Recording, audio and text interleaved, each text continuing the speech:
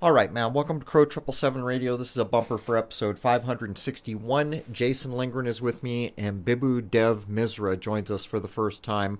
Our guest is going to join us to talk about the age change. He's put out a book called Yuga Shift, and it's really quite a read. It brings together almost everything you can get your hands on with regard to age changes from the American Indians to the Greeks to the Egyptians to the Persians.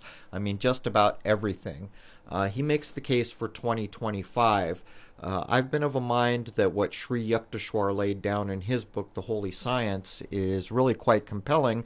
The only problem is, is every age change is supposedly paired with a massive reset and loss of life.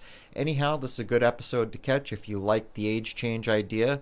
Uh, the first hour is free to everybody at crrow777radio.com. Members know to log in for the full episode and they get access to all the forums. They can create them, uh, all the comment sections, and the two hour film called Shoot the Moon is free to download anytime.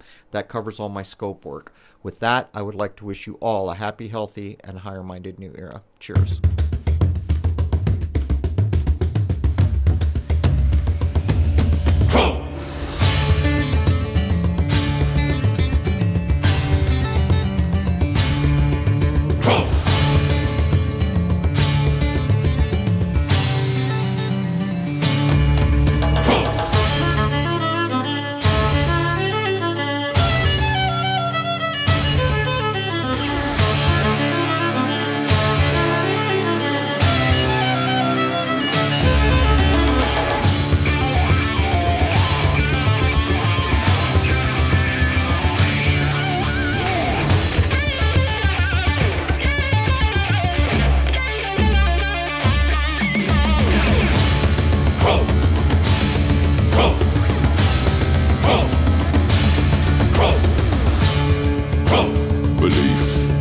is the enemy of knowing.